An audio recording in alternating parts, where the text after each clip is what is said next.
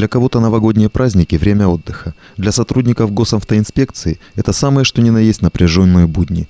Стартовые дни года, как отмечают в ГИБДД, традиционно проблемные. Сколько бы ни говорилось о том, что застолье с алкоголем и вождение автомобиля несовместимы, всегда находятся люди, которым закон не писан.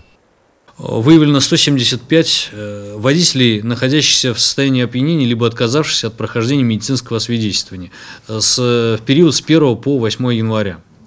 Дорожно-транспортное происшествие э, с участием пьяного водителя зафиксировано одно. Это водитель, находящийся в состоянии опьянения, совершил столкновение э, с движущимся впереди транспортным средством.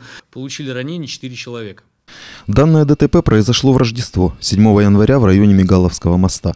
Это место, издавна пользующееся дурной славой, попало в сводки днем позже, когда на эстакаде случилась авария со смертельным исходом.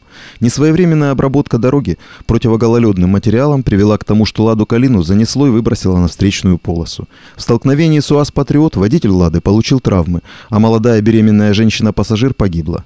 Водитель УАЗа и два его несовершеннолетних пассажира также были травмированы.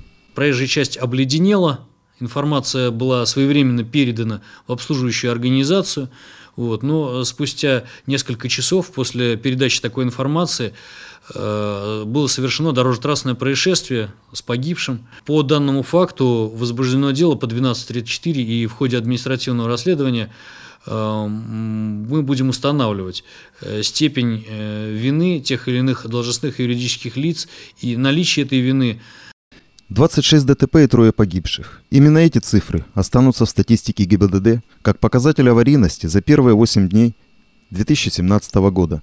Много это или мало? Год назад дорожно-транспортных происшествий было 44, а погибших 10.